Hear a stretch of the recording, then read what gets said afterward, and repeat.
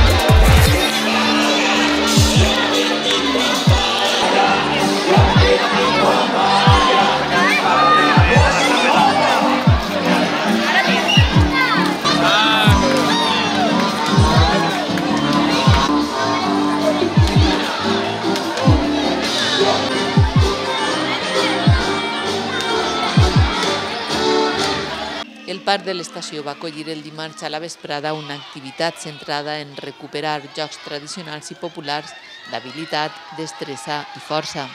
Molts xiquets i xiquetes d'entre 4 i 16 anys s'aproparen fins allí i participaren en aquesta proposta de Sutrail en la que reivindicaven en l'era tecnològica que ens trobem la necessitat d'interactuar i relacionar-se.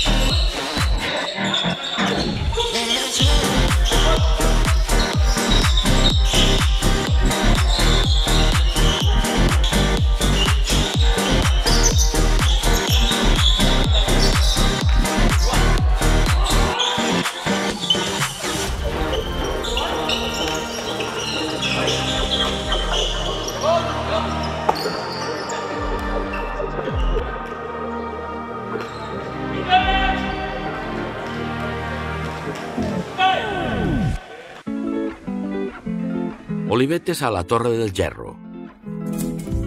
Diumenge 6 d'octubre començarem la temporada senderista de muntanya. Un autobús ple d'olivetes eixia puntual a les 8 hores del matí cap a la Marina Alta.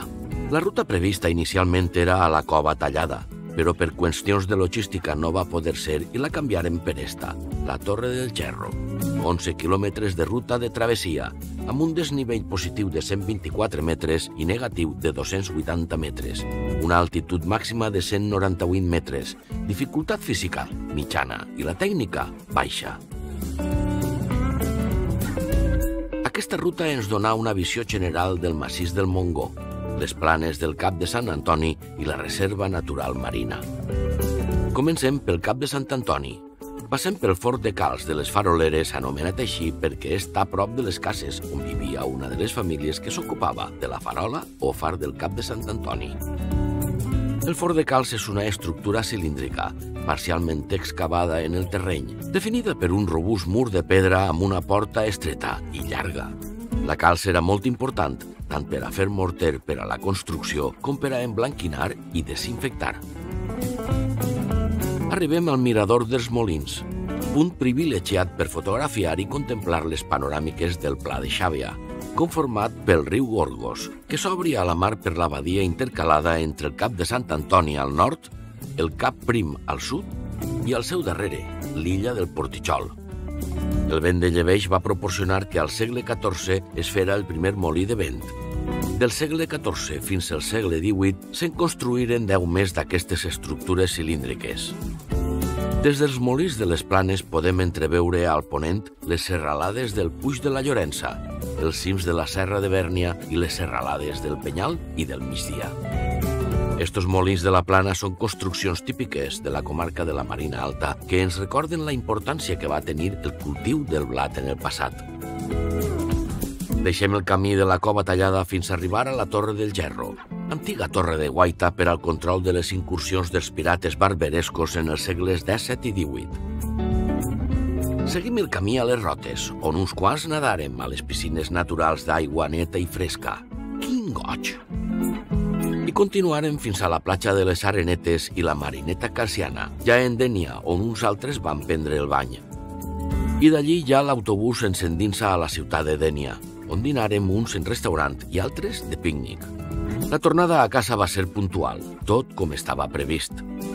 Un dia magnífic, calorós i ben aprofitat, una ruta senzilla i completa, contents cap a casa i ja pensant en el següent. Cronista, Carolina Ortí Capellino, narrat per José Miguel Soria Urios. Grup senderista, Olivetes Chafaes.